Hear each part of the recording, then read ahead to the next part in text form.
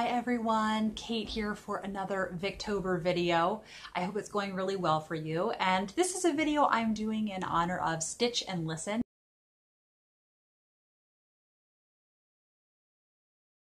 Where we are celebrating kind of um, handicraft and textiles uh, by doing some kind of handicraft while you listen to an audiobook. And I hope that it's going really well for you. And I just find it to be a really soothing practice to listen to an audiobook while I am doing some kind of handicraft.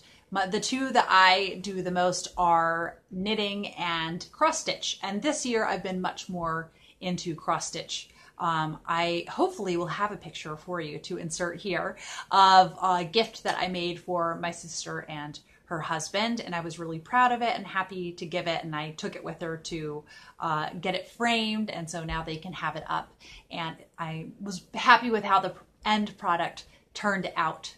Um, so, a couple things I wanted to talk about today are some of the movements that happened within textiles within the Victorian era and also to focus on William Morris. If you saw my Stitch and Listen announcement video, then you'll see that I picked uh, a cross stitch of his tapestry, The Tree of Life. So I think he's a really fascinating person. His designs fascinate me. I'm just so drawn to the aesthetic that he has in them.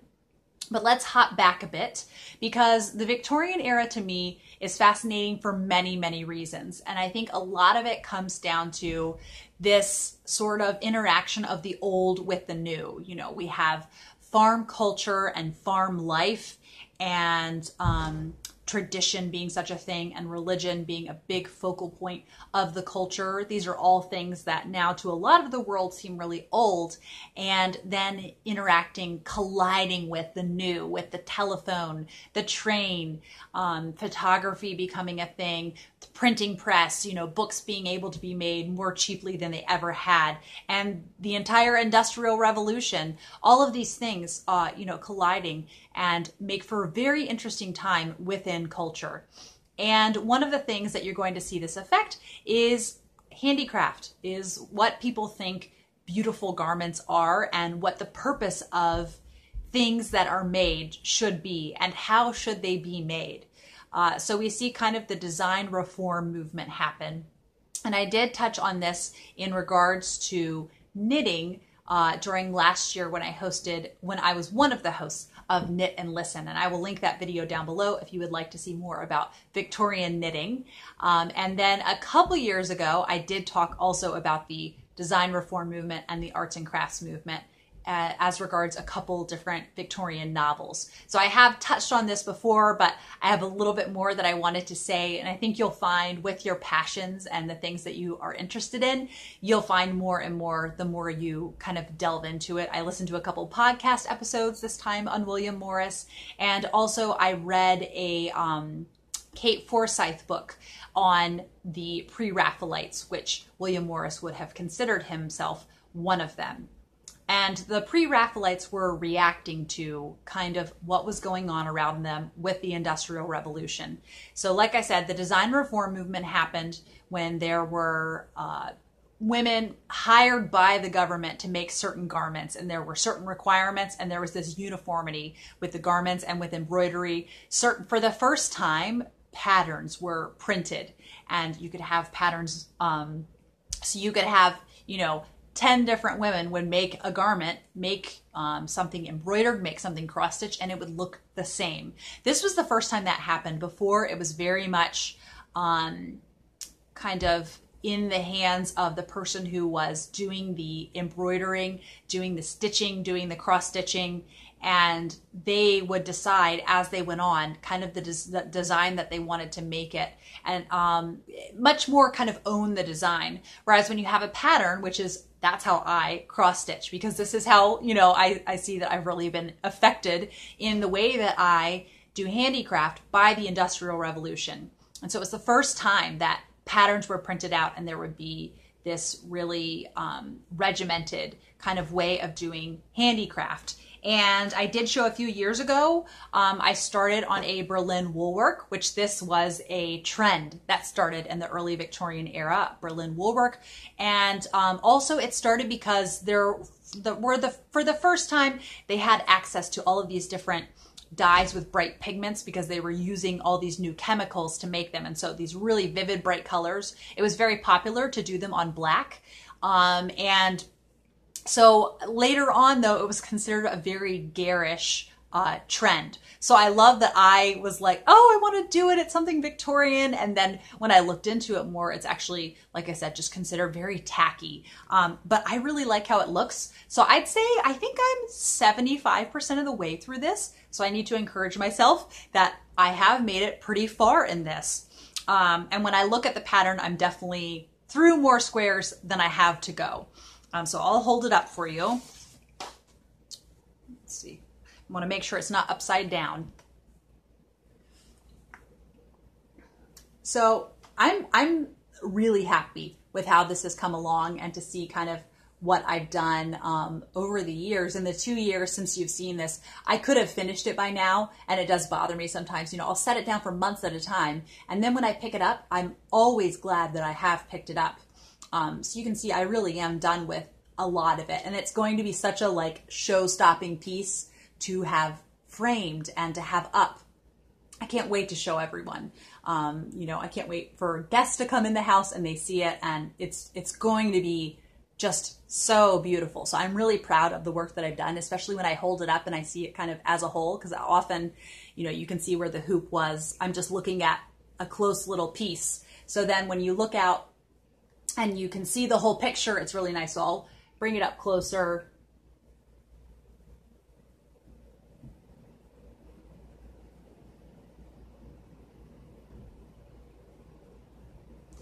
so you can see more of it. So yes, I'm very proud of this. I'm happy with where I've come. I would love to finish this by the end of the year, especially now since I have a new big um, craft project that I've started. We'll see if I do. We shall see.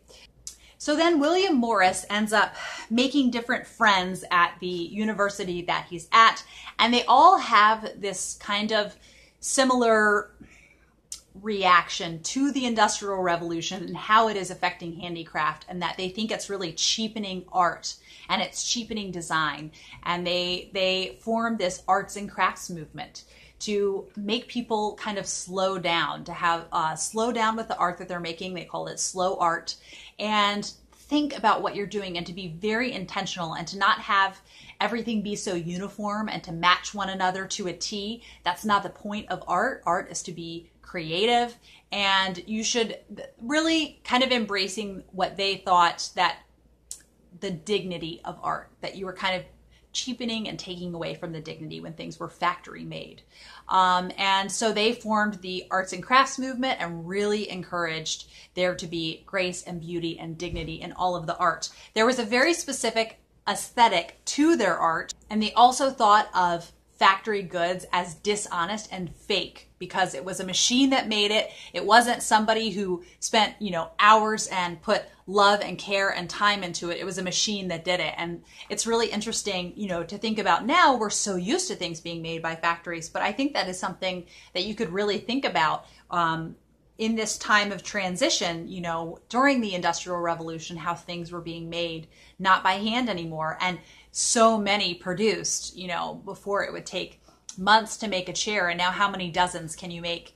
How many dozen chairs can you make in a week? Hundreds, you know. And um, so it, they were really thinking about that. And William Morris really embraced the importance of beauty in the home. And there's a quote uh, he says, Have nothing in your home which you do not know to be useful or believe to be beautiful which to me that's like the original marie kondo. I think a lot of these um, things that uh, seem like such new ideas if we look back there's some of it in the victorian era. And then they also loved uh, the classics. They loved like greek mythology and so i think maybe even that idea harkens back to the Greeks. I don't know. But I do know that also because of the Industrial Revolution, for the first time, people could just own so much stuff. So I really love that. Have nothing in your home which you do not know to be useful or believed to be beautiful. And it does bother me when there's something that I consider an eyesore in our house and I see it and like, why do we have that every time I pass by it? And I think it's good to be very intentional about what you acquire and what you're making. Um, all of that. I think it's all very good. So he formed then um, Morris and Company. And he thought the basic principle of this company is to have beautiful things in the home that are also useful. So, for instance, they would have, you know, Victorian homes were very cold. So they would have curtains that were beautiful curtains, sort of tapestry style curtains that would cover the entire wall, not just the windows, and it would really insulate the heat. So it's something useful that's insulating the household, but it's also incredibly beautiful. So the Morris and Company sold mostly fabrics and wallpaper. And what's really wonderful is that company is still around today. It did merge with another company, Sanderson and Co. Uh, I think it was in the 1940s, but it's still around today. You can still purchase uh, William Morris's wallpapers, and now I really want to. Um, just uh, I I could picture. I think in one room it could be neat to have wallpaper on one of the walls or two of the walls, and then have an accent color painted on the other walls uh, to kind of go with it. And I just am really really enamored with his art. Um, and then he had a house, which they call just the Red House, that he had um, made. He had it specifically made, and it's it's supposed to harken back kind of to medieval times. And he was very intentional about every last aspect of the design. And in recent years, they have unearthed this huge mural um, that was done, and it had been covered up by other layers of paint, and so it took long, careful hours and time to take the other layers of paint off and uncover this absolutely stunning mural. And I'm just, I just think about all of the time that he spent uh, painting that. And I think it's wonderful to think about spending that much time making a home beautiful. I think a lot of uh, the time in, in modern times we don't do that and just putting so much care into it. And one of the things in particular that William Morris's art focused on is the natural world, natural beauty, and natural materials also. Um, so I'll show you some of the wallpapers um, that he used are just stunning and just every last detail. You know, you see the little lines on the leaves and um, just he really loves to incorporate, like I said, things from the natural world. So leaves, flowers, birds. Um, there's a trellis wallpaper also, all of these things. And just the amount of detail. This acanthus one, um, every last little, you know, curve on the leaves, it's just, you can tell so much time and care was spent on this art. And it has, uh, you know, people still love William Morris's art. It has truly stood the test of time. So I do think there really is something to what he was saying. One of William Morris and the Pre Raphaelites' biggest inspirations was John Ruskin. And John Ruskin uh, was very popular in the Victorian era. He was a writer, and kind of in a nutshell, this is really shrinking things down. But he kind of thought beauty is morality. So whatever is beautiful, is noble, is worth pursuing. And you can see that then outstretching and overflowing into Victorian society, where you were thought to be more moral if you had a more respectable appearance. So if you have a respectable house, you're you're good to go. The pre-Raphaelites also were very fixated on medieval times, kind of that idea of chivalry and this real um, romanticizing of the past. They have a lot of historical figures in their art.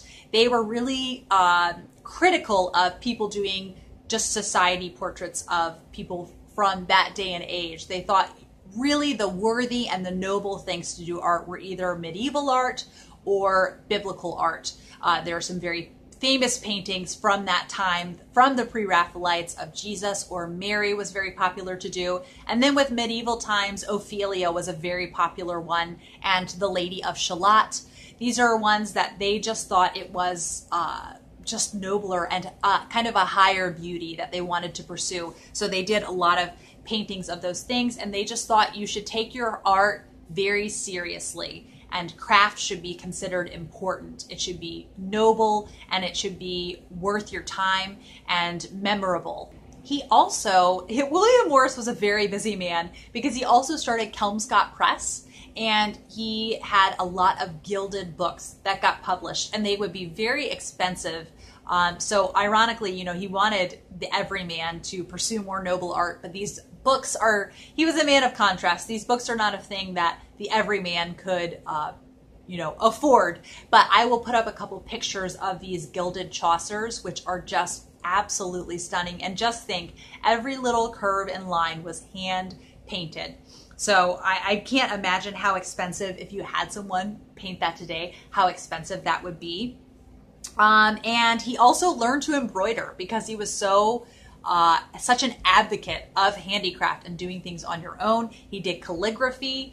Um, but what's interesting in the podcast that I heard, which I'll link down below, it's called Victorian Scribblers, they were saying he, in a way, kind of appropriated embroidery because he was set financially because of some investments that his father made. Even after his father's company that he worked for came crashing down, he was set financially. And he always felt a bit guilty about that money, but yet he did still live as a man of leisure he had these projects, but he didn't have to do them or rely on them. And so he could pick up embroidery whenever he wanted and then set it down if he got bored with it. Whereas women that did it for work, they would sit 12 hours a day embroidering in whatever light they were able to get. They probably weren't uh, able to afford gaslight, so there was, you know, doing it outside um, in daylight or by firelight, which there were a lot of women, I think, that really took a toll on their eyesight. And then we come to the Tree of Life, which I chose as my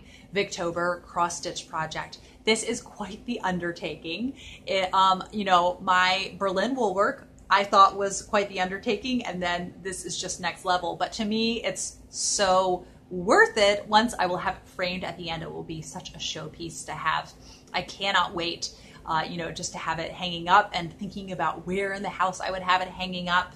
The very remarkable thing about the Tree of Life tapestry that William Morris created himself is that it was not based on a painting. Most people in that day and age, when they were making tapestries, would have a painting for reference, but he did it all as an original, as a tapestry.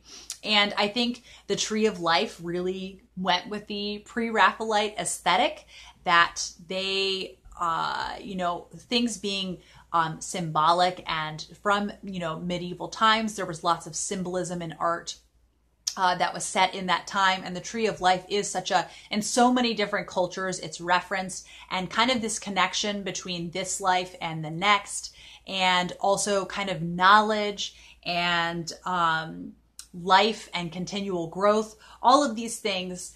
And it was just really went with his aesthetic. So you know me since you know I do uh, Victober and I'm just obsessed with Victorian literature and now the Victorian era from loving Victorian literature so much. Uh, it makes me really happy that I found a couple different Victorian um, kind of nods to the Victorian era with the cross stitching that I am doing. And it can be fun to explain to someone, uh, maybe who didn't know about William Morris or someone who didn't know about Berlin woolwork, kind of these things that I think are really interesting. Like I said, interaction of the old and the new colliding in that time during the 19th century. I hope you've enjoyed this video, of some kind of little um, tidbits of information about design reform movement, arts and crafts movement, and uh, all of that together. So I hope you have a lovely day and are having a great Victober, and I will talk to you later. Bye.